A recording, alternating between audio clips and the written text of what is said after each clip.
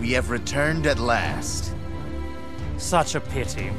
Despite the fact that Master Lu Bu defeated the traitorous Dong Zhuo, he was still driven from Chang'an. In a manner of speaking, this is where all of Master Lu Bu's troubles began.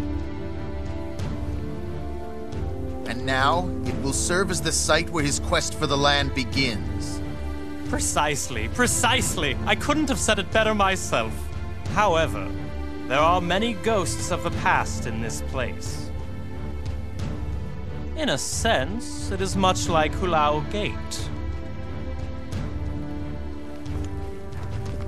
No, this is different.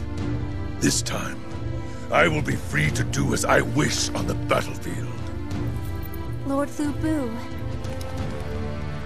Please, be careful. Go forth and make this land your own.